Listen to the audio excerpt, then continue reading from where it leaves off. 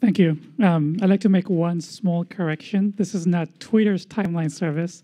This is actually Hadoop Yarn open source timeline service. That's fine. yeah, because timeline is very familiar term with Twitter. So, um, so we're going to talk about the Hadoop's Yarn timeline service version two. Um, I'd just like to see a show of hands. How many of you are familiar with timeline service in Hadoop? Okay, about several. Okay. Um, so let me talk about what that is first. Okay, I don't have a slide for that, but um, so timeline service is basically a way of storing many kinds of data, metrics, configuration, and things like that into a storage coming from Hadoop clusters or Yarn clusters so that we can use that data to do useful things. So we call that timeline service. Um, one good analogy would be um, if you're familiar with MapReduce, you might be familiar with uh, MapReduce's job history server. So if you go to a job history server, you can take a look at it. You can actually drill down into all the configuration, tasks, mappers and reducers, and counters, and all the fun things about your MapReduce um, applications. So timeline service is really an extension or a generalization of something like a job history server so that it actually covers not only MapReduce, but basically any type of framework that runs on top of Yarn.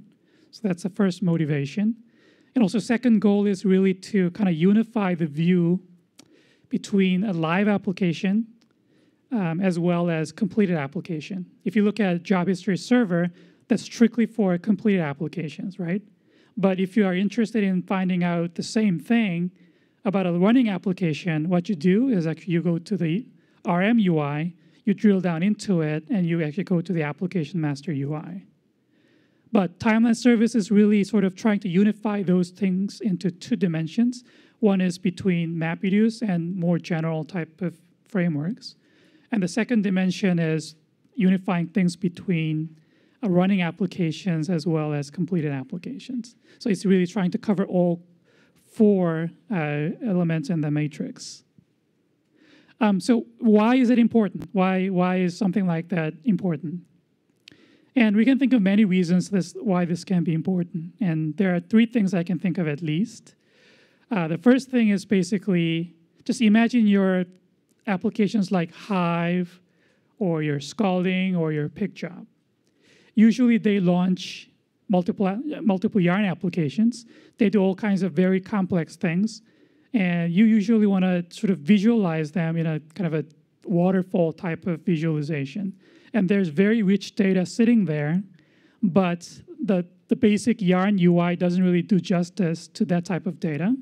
So basically, the timeline service can really unlock the visibility into this rich data that users actually have there. So that's why it's very important. Uh, and the second thing is you can also build tools like chargeback.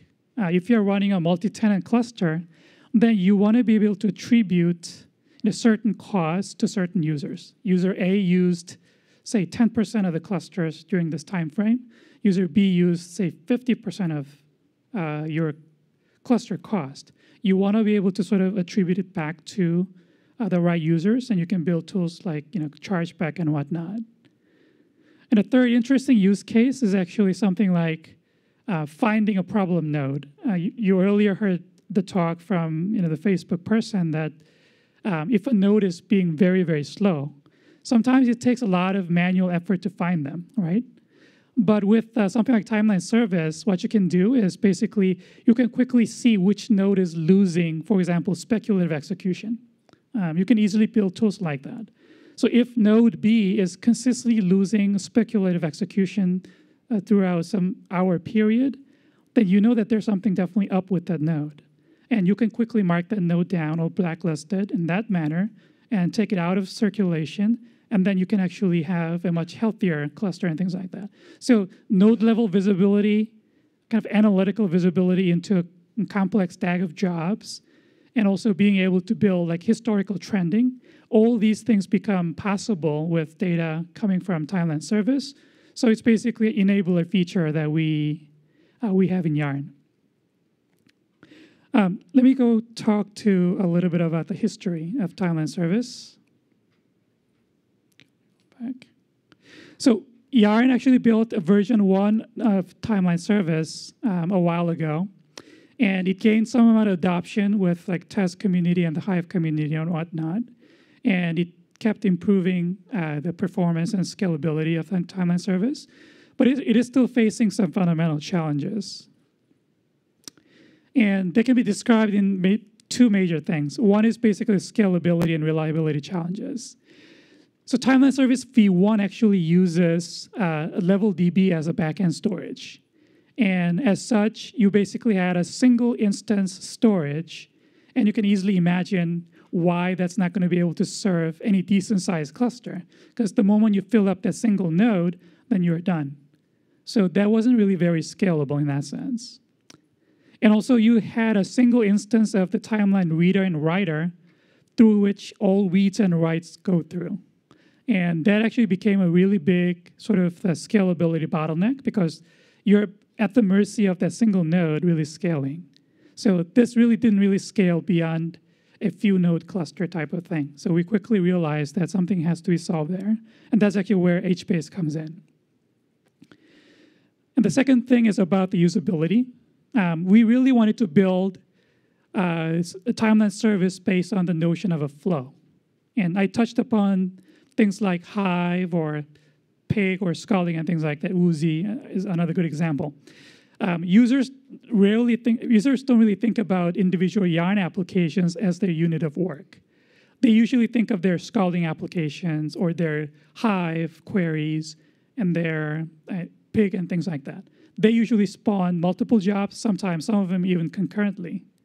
So you really want to have an understanding at that level, which is really a higher level than individual yarn applications.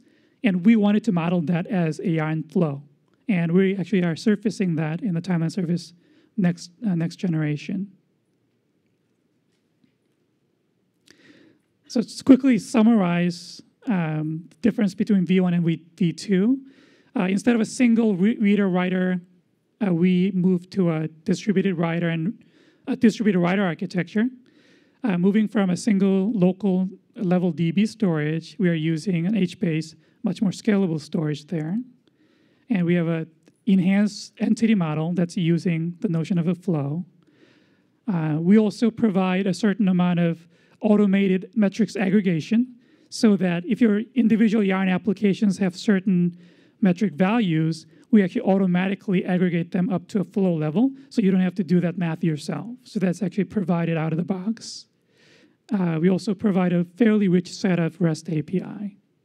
Um, just for historical background, all this is actually based on um, Twitter's uh, previous open source project called HRaven.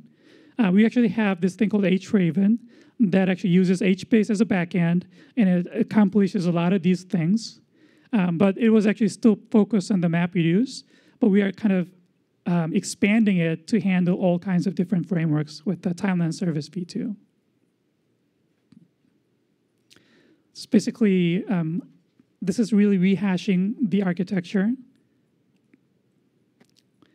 So this is a, the architecture at a very high level um, with a single Yarn application right next to the Yarn application master we have what we call the, um, the collector. The collector is basically, you can think of it as a kind of write proxy. So if you have a data coming for a particular Yarn application, they all funnel through the application master, and the application actually send that data over to the timeline collector. And the timeline collector is basically your HBase client. Um, this actually handles that write coming from the AEM and send it over to the storage. Storage in this case is um, HBase. And all the metrics that are emanating from all kinds of different nodes, they all flow through this single instance of timeline collector uh, for each application. So we have basically as many timeline collectors as a number of uh, live applications that are running uh, in the cluster at that point. And the resource manager itself also has its own dedicated timeline collector because it can emit tons of interesting things also to the storage, things like application lifecycle events and all the things that can be written directly by the resource manager. And we also have a bank of timeline readers that are dedicated to serving uh, the queries, the REST queries against the storage. So this is basically the overall read and write flow. And one key point here is that uh, we really strive to optimize this architecture uh, for writes, because the write is basically going to be the key issue here, especially if you have a fairly large size cluster, because the volume of data is actually really tremendous. We really wanted to be able to have a high throughput write happening with the cluster. Uh, reads are, of course, very important, but uh, we are trying to optimize writes first, but then we try to accommodate reads as much as possible to the extent we can.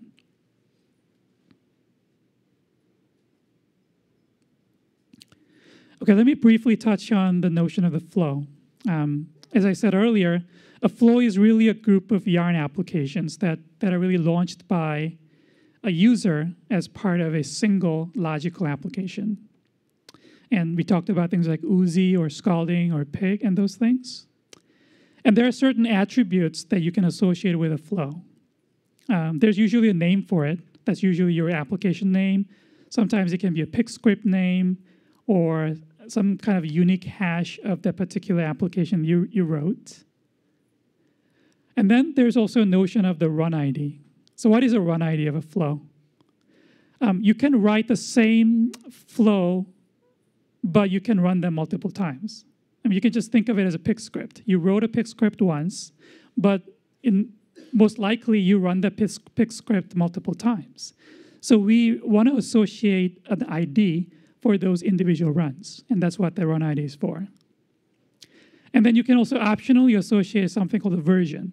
So version is nothing but a way to distinguish different versions or different sort of iterations of the particular um, flow, whether it's pig or something else. So we have these attributes that are associated with the flow, and they're basically modeled in a hierarchical manner. If you look at um, uh, the diagram on the, on the right, you'll see basically there's a flow entity, timeline entity. Underneath it, there's a flow run entities. And they actually are now parents of Yarn application entities and your Yarn app attempts and your container entities and so on. So this is actually how we modeled uh, these entities within the timeline service. Let me skip this one. Okay, so let me go into probably the more interesting part, you know, where HBase comes in. Um, so we chose HBase because we believe that HBase is you know, truly a scalable backend for this, and we found that that is probably the best match for the problem we are trying to solve here. And we really utilized the row key structure. So we basically uh, crafted the row keys so that it enables very efficient writes to the storage and the one thing that we really try to do is basically uh, we never read when we write. So basically, we do a total readless write so that um, any write or any update activity happens without any reads happening whatsoever. So everything is basically just pure writes happening. And for the read cases, uh, we use basically HBase filters very aggressively, and we do a filter pushdowns really aggressively to serve um, all the major uh, read REST endpoints. We also uses um, HBase coprocessors um, in a pretty interesting manner. And actually, we're going to go into a little more details about this. Uh, we talked about the aggregation. If your Yarn application has a certain metrics value, we want to be able to aggregate those values up to your flow um, out of the box uh, automatically for you. And that's actually where we use the uh, coprocessor to do this aggregation um, for you. And we also use the cell tags to do a number of interesting things. And, and also, Joep is going to talk about that a little bit. And we also use the cell timestamps uh, during the put um, in an interesting manner.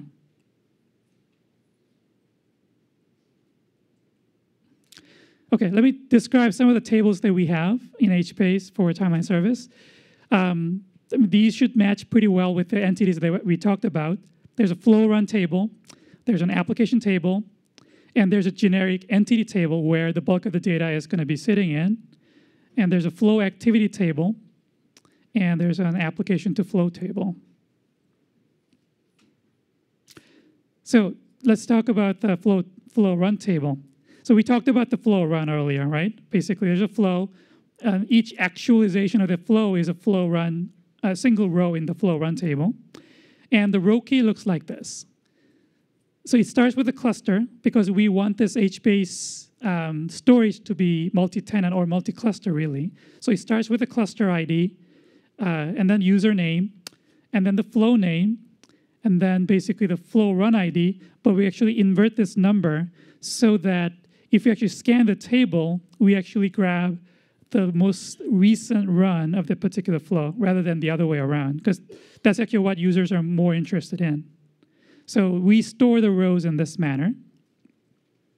And we enable the coprocessor to handle the aggregation. An application table is the next one, and it looks pretty similar. It follows a similar structure here too. Cluster ID, username, flow name, and flow run ID, and followed by the application ID. This table hosts all the Yarn applications that ever ran for the particular cluster. Similarly, the entity table, uh, you probably get this now. Um, the order is a little bit different here. A username, cluster ID, flow, uh, flow run ID, um, application ID, and then entity type. It can be things like yarn container, yarn app attempt, and things like that. Or it can be frame, sp framework specific things like your MapReduce job and things like that too. And the entity ID finally. And why did we have the user and the cluster inverted over here? And that is mostly for the sort of the splitting concern because this table is by far the biggest table that we're going to create in the timeline service. So we wanted to have a fairly uh, partitioned uh, scheme for this particular table. And if you started with the cluster ID, the number of clusters is usually much, much smaller than the number of users that you would support. So we wanted to have uh, we wanted to have some diversity. That's why we are starting with the user, and that way we can actually split them into multiple regions more easily. So that's why there's a little bit of inversion happening with the row key. The flow activity table. So the flow activity table is basically um, a daily snapshot, if you will. So it's going to take a look at the activities happening in the cluster, and it's going to figure out what uh, flows ran for the particular day and give you a kind of a daily snapshot or daily summary of the activities that are happening in the particular cluster. And this will serve as the base table for the new Yarn uh, RM UI. So if you look at the RM UI today, you have the list of running Yarn applications in the first page, right? Um, we are actually envisioning evolving the page so that instead of having individual Yarn applications, you actually see individual flows that are running, and you can tweak it open, and you'll see the applications that are running as part of that flows, and so on and so forth. So this is there's a new reimagined version two of the Yarn UI. App to flow table is basically an auxiliary table that maps an application to a flow so that we can do a very efficient lookup for certain cases. Okay, I'm going to hand it over to you to go into a little more detail about the aggregation. All right, thanks, Sangjin. So this um, a couple of weeks ago, I volunteered Sangjin to do this presentation, and then this morning he volunteered me to do this part. So I'll try to do it justice. Um, I'm going to talk a little bit about our, our coprocessor and how we use them and cell tags. If you've got any questions, just you know, raise your hand and, and ask me as we go along. Maybe first a question, how many people have used a coprocessor before? All right, so a bunch of people are familiar with it. All right, so maybe a, a little bit of a description first of what we're, what we're aggregating. There's two sorts of things uh, that we're aggregating, or maybe three. There's an application level aggregation that we're leaving up to the application. So those are things like, um, if you think about a MapReduce job, all of the different containers and the HFS bytes read or the number of records processed by each mapper, for example. That rolls up into the application itself. That we're leaving to the application itself.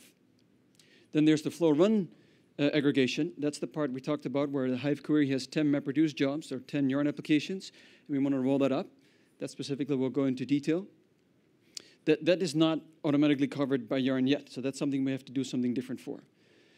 And then the third part is what we call offline aggregation, um, that we felt that we don't have to do on the fly as things go. So the, the, the middle case where we're saying a flow run, we really want to have an, a resource manager UI where you can see all of the running applications, and you want to be able to see all those things rolled up into the flow. So you see my Hive query and all of the bytes read across all of the Yarn applications that I've run. So that needed to really be real time. The, the cases of uh, ro rolling up to a user or rolling up to a queue or other kind of dimensions, we've said that doesn't have to happen you know, directly within you know, a few seconds latency. That can happen a little bit later. And for that, we'll use an offline aggregation mechanism. Um, we've discussed the use Phoenix tables for that. Um, we're not going to go into super much detail on this presentation for that. So another motivator why we needed to use coprocessors, because we know that you know, using coprocessors, it has sharp edges, so we've been, we've been warned. And one of the reasons why we're still going for this is that um, we have a fairly high write load. So particularly in our Twitter case, um, we have a system called HRaven that currently takes the entire history file after a job is complete and then rolls it into HBase and splits the keys out. So that works fairly well. And you know, overall, over time, we've amassed tens of billions of records of tasks that have run. But now if you want to do this live, you know, some of our larger clusters are 10,000 nodes. So we launch about 4,000 containers per second. If each of these, if you just record the containers, and we record about 100 or 200 metrics each, you get a very, very large number of writes happening all at the same time. So if we want to all roll these up, and every application then has to first read the state of the aggregation of the, of the total sum, what the current sum is, and then try to write it back, and then have to deal with race conditions to do compare and stores that will uh, not be greatly performant, and ends up introducing a read path while you're writing. So what we really wanted to do is to do a readless write. So this was based uh, and inspired by an idea that Gary Helmling had built earlier on the readless um, summation, where you could just you know, write increments, the readless increments. We're doing something similar, but maybe slightly more complicated. So this picture shows sort of what's going on here. There's a lot of boxes on this, but the way you read this is there, the, the top two rows are two different applications over time. It reads from left to right, so the time sums go from the left to the right. And then the rows underneath there are the cells as they're written in HBase in memory, in the mem store. And underneath there in white is what you get when you do an actual read from that particular column. In, in this particular example, I'm showing a summation, but uh, for our aggregation, we also do minimums and maximums. Uh, for the averages, we've decided to just punt that back to the user and say you just store a sum and an account. So in time one, you can see that there's different applications. So the, the, the blue application uh, starts out first. At T1, it writes a sum of three. So imagine the uh, number of records read by mappers in that application or the number of HDFS bytes. So that's fine. There's a normal put into HBase. It's stored there. And if you try to read it, you still get three back. So, so far, so good. You know, next time you get a new value seven, we write the next cell. So here's something where something interesting happens. We write the same cell back, but now with two different cell tags. So both cells are going to be um, in memory. So not only are we writing to the application table itself on the top, but we're also writing to the flow table now, and we're storing multiple values. So now we're trading off space for not having to do a read. What the coprocessor now at this point does, if you try to read, it just simply looks at the time order of the same um, cells, and it says, I'm going to return the latest value written. So since there's only one application at this moment, it's fairly easy. We had a 3 and a 7. 7 came in later. The value you're returning for the whole flow, uh, for the whole flow run in this particular case, is 7. Now at T3, something interesting happens. We start a second application, B it comes in and it writes its um, metric for the same uh, for the same column here, and it says I have a value of 13. So now we have stored the, the values 3, 7, and 13 stored behind one another. The coprocessor comes in and says, I'm taking the latest value for each application. So it takes the 13 from application B, the 7 from application A, and it discards the number 3 from A because that's a later value. And fortunately, the coprocessors hand those values to us in order, so we know that as we've seen in application before, we can just drop the rest and not iterate it through that anymore. So we sum those things up together. If you ask and you query at that point in time, the answer will be back 20. But 20 is not stored anywhere at this moment. That's just a virtual value. So as we go along, uh, you can see that there's more and more values written. So now, you know, T4, another value is written. It's going to be the latest again. You read it out. You sum it up. So, so far so good. Now, this sounds great in that you don't have to read back, so you're just doing two writes, one to your application table and one to the flow run table, but clearly we're building up more and more and more values. So this starts becoming expensive. The good thing is that in HBase, we have a flush mechanism, so at the time HBase ends up flushing these values down to disk, we do not have to write every single value. So at that point, what we do is we decide to just only keep the latest value that we have for, for every application. So we keep only the uh, 17 and the 15. So again, if you do a read at that point in time, we still return you 30. So that's where the, where the flush happens. Um, this value is also useful at the same time so that if an application ends up crashing and has to reread, it can still go back in and reread what the latest value was. So now we've served two, two purposes. We can go um, back in time and uh, do uh, restarts and reread these counters, and we can um, roll them up on the fly. So now we see another example where on, at T6, there's another value written for application B. Those are stored, uh, the values are returned. And these counters, uh, just like with most counters in, in Hadoop, they don't have to necessarily always increase. I just chose increasing values and prime numbers because we were being geeky when we put the slide together. This slide shows multiple steps in the same, but now what you can see is as there's a dark outline around an application, that indicates the final value. So that indicates that the application is done, and it says, I'm done with this, this is the last value I'm writing. So in T7, you can see that the value is written for 23 for application A, it's written. And initially, nothing new happens. We'll see that in a little bit later that we, we handle this, this uh, in a slightly different case.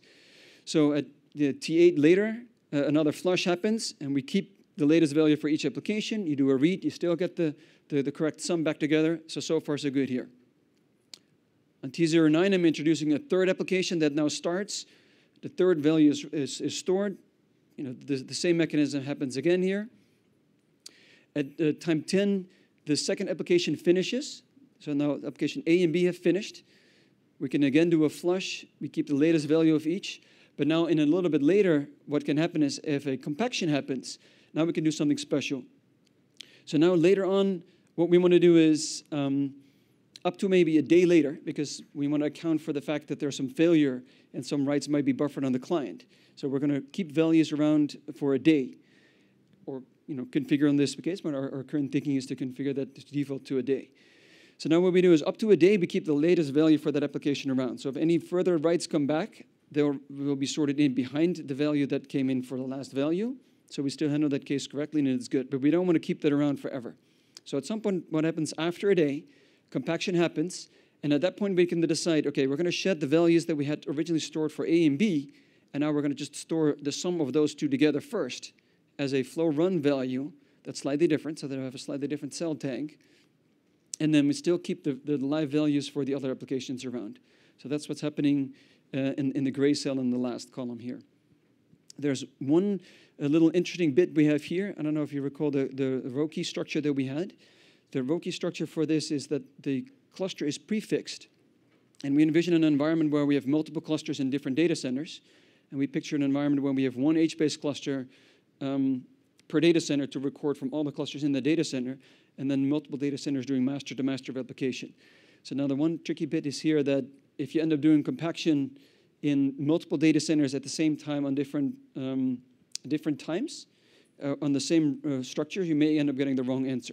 So what we're going to decide to do there is to make sure that we do compaction only in the quote-unquote home uh, cluster. So only in the designated cluster for that, the designated HBase cluster for the corresponding yarn cluster where we do the compaction for those particular rows.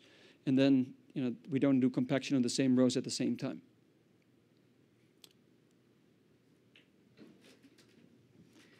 Okay, let me just finish up. We have uh, four minutes, I'm going to have to go through them pretty quickly.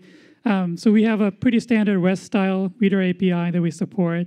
I'm not going to go too much uh, detail into this one, but um, again, I'd like to mention that we're using the HBase filters very aggressively and extensively. So they actually push them down and we try to return as minimal data as possible coming from the HBase. Um, I'll have to skip this one. This is how it'll set up the timeline service. Um, this is probably not of very big interest.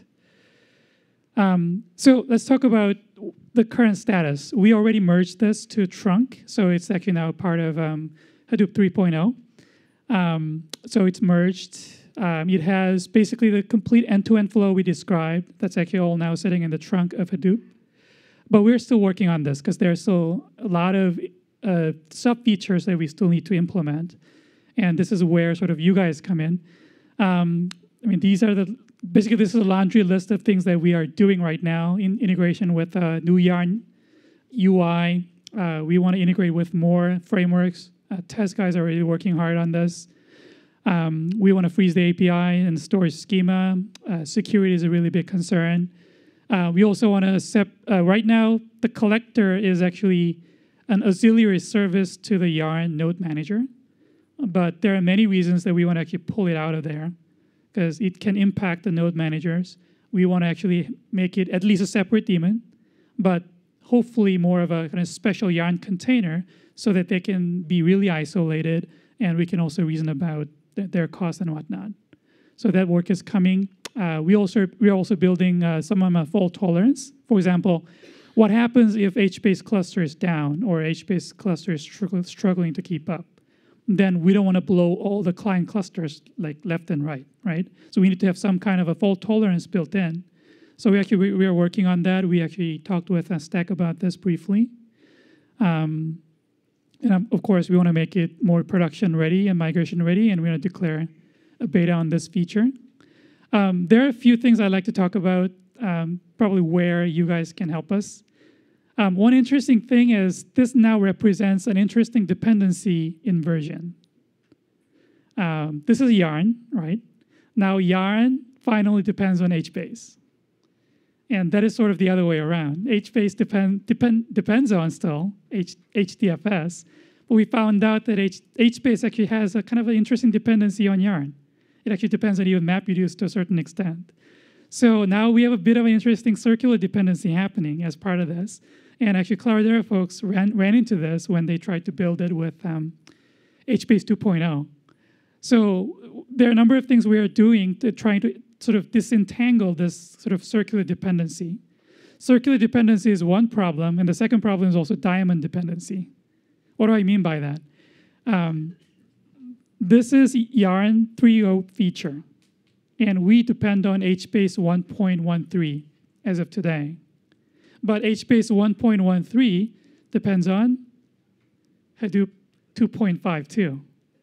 So we have a bit of a bind here. So we really have to separate these things and do something really um, interesting with a Maven POMs to really separate these two things. So I mean, these are very interesting, potentially a bit of a landmine, if you will, but we need to sort this out. So that's one thing.